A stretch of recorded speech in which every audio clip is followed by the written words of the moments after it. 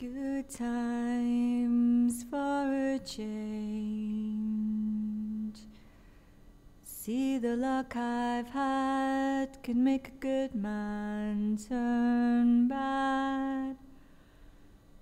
So please, please, please let me, let me, let me, let me get what I want Hoor je dat? Als je straks Art Rotterdam komt binnenlopen, hoor je bij de ingang heel zacht deze prachtige, verleidelijke, melancholieke vrouwenstem. Het is een kunstwerk van Susan Phillips, die altijd alleen maar geluidskunstwerken maakt. Daar ben je niet op beducht. Als je een beurs inkomt, verwacht je beeld, verwacht je veel impulsen. Maar dat is nou precies waarom Phillips op deze plek zo goed werkt. Zij probeert je bewust te maken dat kunst gaat over andere manieren van denken. Andere manieren van kijken, andere manieren van perceptie. En dat je daarvoor heel goed al je zintuigen moet openhouden. Zelfs al bij de ingang. Iedereen kent het gevoel wel als hij een kunstbeurs als Art Rotterdam betreedt. Zoveel werken, zoveel beelden, zoveel foto's, zoveel schilderijen, zoveel impulsen. Wat moet je daar in vredesnaam mee? Hoe word je daar wegwijs uit? Het is wel aardig om dan te bedenken dat het eigenlijk helemaal niet zo ingewikkeld is. Op het moment dat je beseft dat ieder kunstwerk op zich afzonderlijk belangrijk is, maar dat het ook het oeuvre van de kunstenaar vertegenwoordigt. Dat lijkt voor de hand te liggen, maar dat oeuvre is belangrijk. Want dat oeuvre dat staat voor de denkwereld, voor het universum dat de kunstenaar aan het maken is. Het is een oude romantische wet. Kunstenaars bouwen gedurende hun carrière aan een eigen wereld, een eigen universum, waar de wetten gelden die de kunstenaar bepaalt. Dat maakt elk werk ook zo spannend. Als je het ziet, snap je dat het een soort ster is aan de hemel van die kunstenaar. En dat je daar zelf door dat ene werk onderdeel van kunt uitmaken. En als het ware die wereld in kunt stappen. Als je denkt aan kunstenaars als schepper van een eigen universum, is het extra interessant om naar hele jonge kunstenaars te kijken. Hoe zullen ze zich ontwikkelen? In hoeverre kunnen ze allemaal wetten en regels bedenken die die wereld groot en krachtig maken? Nou, dat is precies waarom het werk van Wouter van der Laan zo intrigerend is. Van der Laan is pas 23, studeert nog in Groningen en maakt op dit moment al dit soort schilderijen. Het fascinerende is dat ze op het eerste gezicht heel chaotisch lijken. Al die vormen, al die kleuren, al die beelden. Maar hoe langer je kijkt, zie je toch dat er allerlei subtiele patronen in opdoemen. Kijk bijvoorbeeld naar die kleur blauw, die op allerlei plekken terugkomt. Of die transfers van foto's. En hoe langer je kijkt, hoe meer het lijkt of er een enorme dynamiek in de doek zit. Of er stukken naar voren komen en weer terugtrekken. Of er enorm veel lagen op zitten. Maar als je dan dichtbij kijkt, blijkt het hele werk zo plat als een dubbeltje. Waar Wouter van der Laan geweldig kan schilderen, maar nog een beetje op zoek lijkt naar de inhoudelijke fundamenten onder zijn universum, werkt het bij ieder Rekman precies omgekeerd. Rekman is een soort god in zijn eigen universum en werkt met dingen als natuurkunde en natuurwetten. Dit beeld schijnt te gaan over het Higgs-deeltje, dat helemaal elementaire natuurkundige deeltje dat pas een paar jaar geleden definitief is bevestigd. Vraag me niet hoe het precies werkt, want natuurkunde is voor mij tamelijk ingewikkeld. Maar als ik het goed heb begrepen, probeert Rekman hier bepaalde natuurkundige processen uit te dagen en op een bepaalde manier nieuwe vorm te geven. Ik vind het wel een prachtig beeld. Het doet denken aan minimalistische sculptuur uit de jaren 60, maar tegelijkertijd is het heel wankel. Het blok hierboven is heel stevig, of er een zwaar fundament onder zit. En dit deel is juist heel transparant, alsof het elk moment kan omvallen.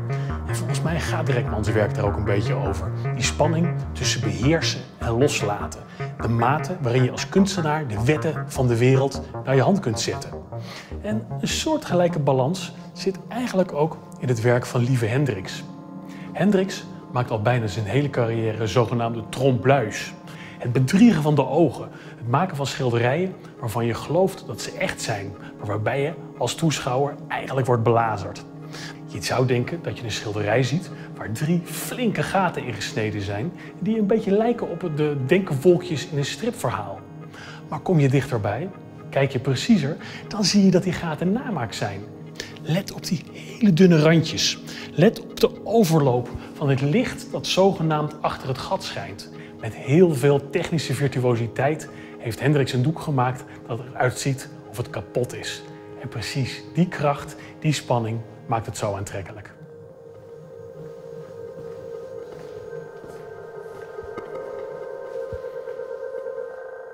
Evelyn Tao Cheng Wang is een van de meest besproken en een van de meest gelauwerde jonge kunstenaars van Nederland op dit moment.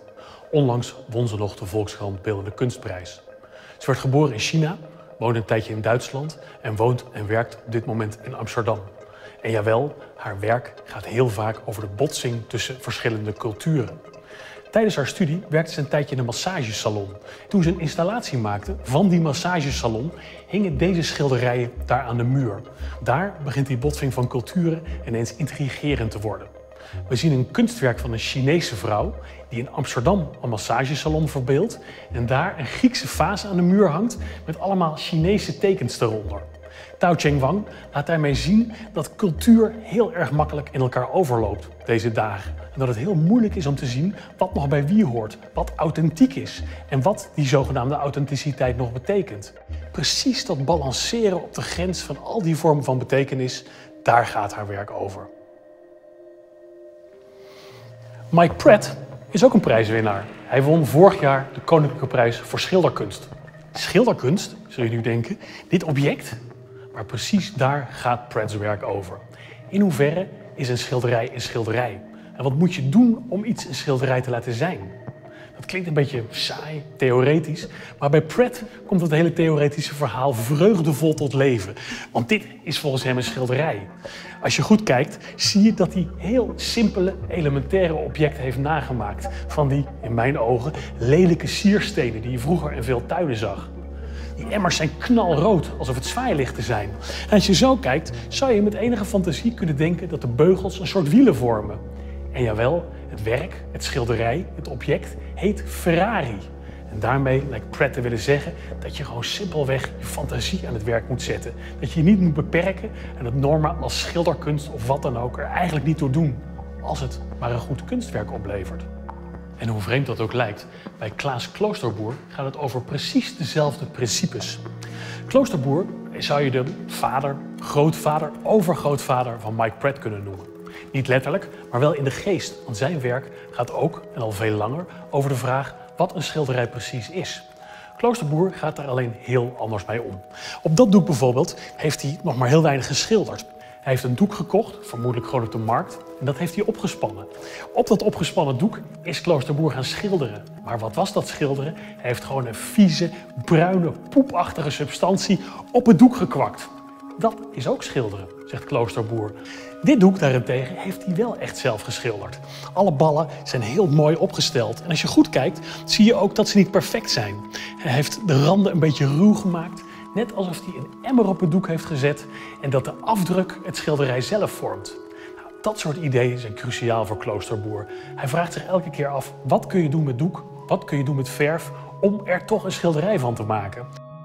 Juist omdat kunstenaars zo graag een grote, eigen, krachtige wereld willen opbouwen, kun je je ook voorstellen dat ze zich heel graag willen verhouden tot de belangrijkste nieuwe wereld van dit moment, die van computers en die van het internet.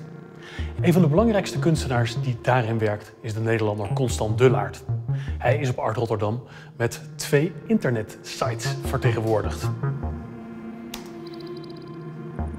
Deze website heet thedisagreeinginternet.com. En als je hem ziet, snap je hem eigenlijk meteen. Het is de openingspagina van Google, alleen hij schudt heen en weer, waardoor je er bijna geen grip op krijgt. Maar hij doet het wel. Hij blijft maar schudden voor je ogen. En je hebt het gevoel dat hoewel je de informatie heel hard nodig hebt, je er eigenlijk zo snel mogelijk van weg wil. En precies dat wil Dullard laten zien. Dat internet heel veel invloed op je leven heeft en ook heel makkelijk uit je vingers kan glippen. Dat zie je ook aan deze foto. De eerste die ooit in Photoshop werd bewerkt. De foto was verdwenen, maar Dullard vond hem terug op internet maakte er allerlei bewerkingen van, waarvan deze in de Citizen M-collectie is beland. Nog veel verder daarmee gaat de kunstenaar Catherine Biocca, van wie een werk op Projections te zien is. Bij haar buitelen de werkelijkheden over elkaar heen. Je zult een groot scherm zien staan waarop een Persisch tapijt te zien is, geanimeerd, met aan de zijkant beelden van Giotto's Scrovegni-kapel, een middeleeuws klassiek kunstwerk, maar dan in moderne versie. Daarvoor staat een sculptuur waarop een steen te zien is. Die steen wil vliegen, net zoals het Persisch tapijt kan. Maar dat gaat niet en daarover voeren ze een heel gesprek. In de conversatie tussen die twee, in de onmacht en in al die lage werkelijkheid van animatie, van scherm, van beeld en van jou als toeschouwer gebeurt alles. En je begrijpt heel goed dat je moet proberen daartoe te verhouden. Maar kan dat wel? En hoe verhoudt zich dat tot de werkelijkheid van alle dag? Biocca antwoordt die vraag niet, maar het feit dat ze hem zo scherp stelt en al die werkelijkheden zo krachtig met elkaar in botsing brengt, is al meer dan genoeg.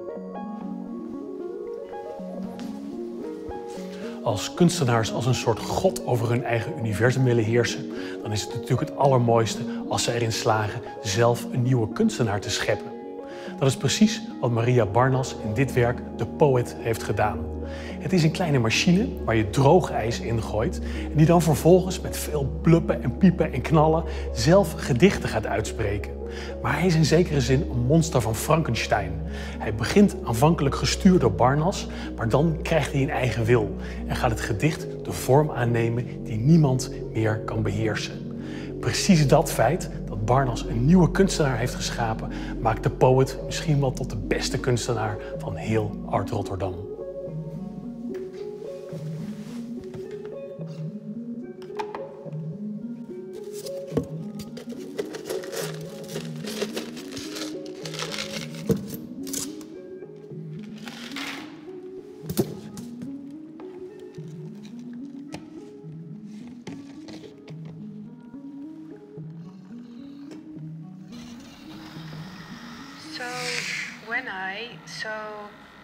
How I, when I, so how, when I try to say, to speak, mutter, form the outlines of my utter utterance, the words are like clouds in my mouths, pale moths, paper dust wings, crumbles of crayon, broken points, points of a pencil. Make a point, make the point broken, chewed on chewing pencils that draw a perfect O. A planet, the planet O, gets in the way of finding the words solemnly tucked away in a place I cannot quite reach, or will I now? How when I so when I so how I how I when I so how when I try to say to speak